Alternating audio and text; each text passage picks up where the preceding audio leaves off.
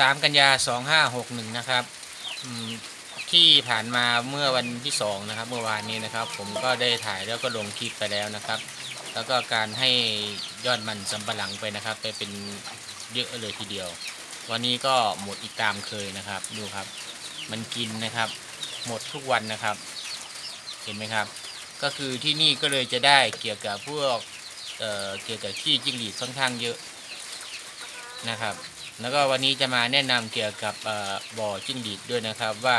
บ่อจิ้งหรีดเนี่ยก็คือเป็นกล่องแบบเนี้ยกับบ่อปูนแบบไหนเเหมาะสมกว่านะครับบ่อเลี้ยงจิ้งหรีดนะครับ ถ้าเกิดว่าเป็นกล่องแบบนี้นะครับ มันก็จะมีข้อดีก็คือหนึ่งยกเคลื่อนย้ายได้ง่ายนะครับ แล้วก็ตัวพื้นพื้นบ่อนะครับ มันจะสูงกว่า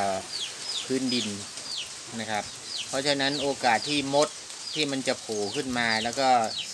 ทะลุปูนขึ้นมาแล้วมาหาไอ้จิ้งหรีดเนี่ยก็เป็นไปไม่ได้นะครับ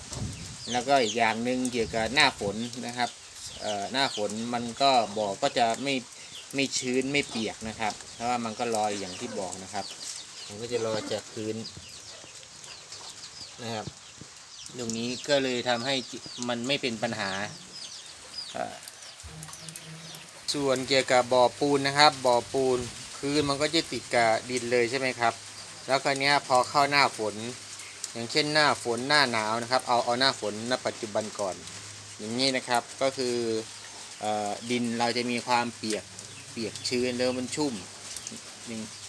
นะครับ แล้วคราวนี้ความเปียกความชื้นเนี่ยมันก็ซึมเข้าไปด้านล่างนะครับ ถึงแม้เราดูว่าดินมันแห้งก็จริงครับ แต่เนี่ยไปด้านล่างยิ่งพื้นที่ราบนะครับราบลุ่มอย่างเงี้ยมันเข้าไป ก็จะทำให้พื้นบ่อ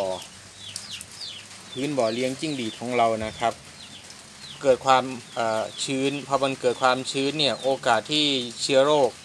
มันจะเดินแล้วก็พัฒนาไปเนี่ยแล้วพวกเชื้อได้ร้ายเนี่ยก็มีโอกาสเป็นไปได้สูง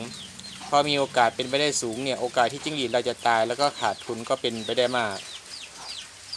อย่างฟาร์มยักษ์ใหญ่ของภาคอีสานนะครับอ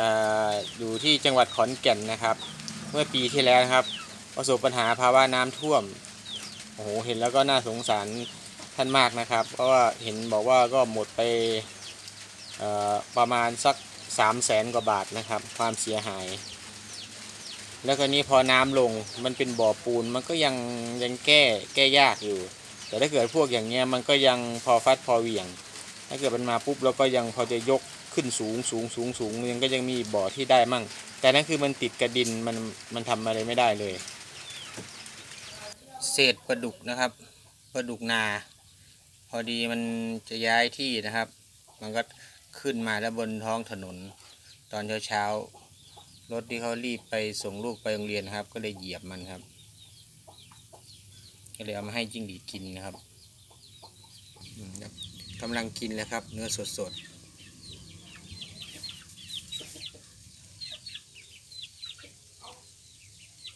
อย่างไอ้พวกพูดกันตรงๆเลยอย่างพวกไอ้จิ้งเหลน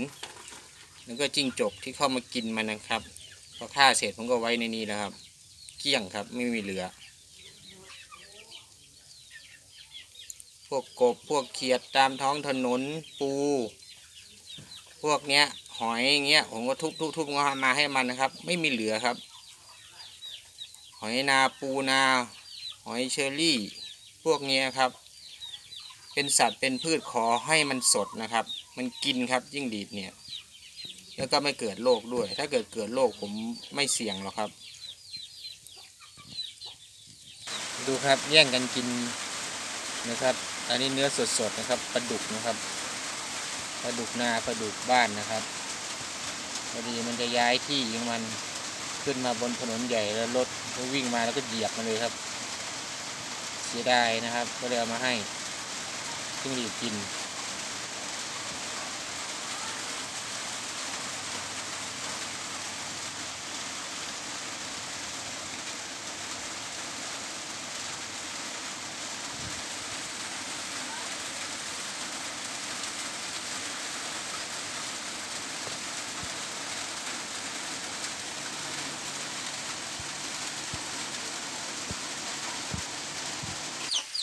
อย่าลืมกดติดตามให้ด้วยนะครับ กดแชร์ กดไลค์ให้ด้วยนะครับ จะขอบคุณมาก ๆ ครับ